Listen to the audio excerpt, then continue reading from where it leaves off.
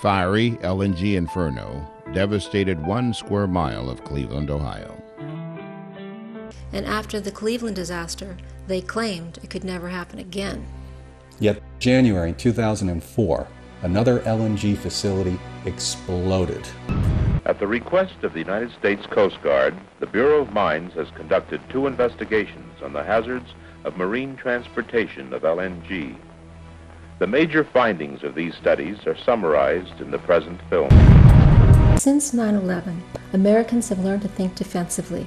One does not have to be an alarmist to envision the obvious risk of danger from terrorist sabotage to an LNG tanker, facility, or pipeline.